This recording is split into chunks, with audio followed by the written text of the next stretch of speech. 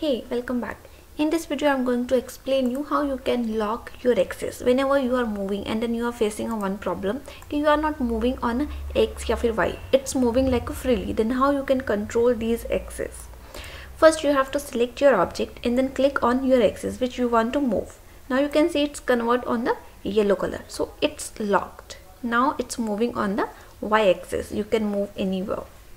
So next you can to lock this um, x-axis then you have to click here and then it's convert into the yellow and then you can move on x-axis. Whenever you are using your snap mode and then now you can move it so you can see it's totally yellow. So it's move on a freely. It's not moving on a one axis so how you can control this one? You can see here we have a snap option. You have to click right side click and then you get this dialog box. You can see here we have one option that's called the options you have to enable axis. Click here. Now you can see click here and then lock it. It's axis. Now you can move easily where you want to move.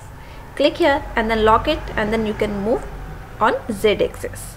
Even you can move on the x axis also. Means according to your desire you can move and then lock your axis. Hope so it's clear. In this case if you have any doubt then you can write in the comment box. Thank you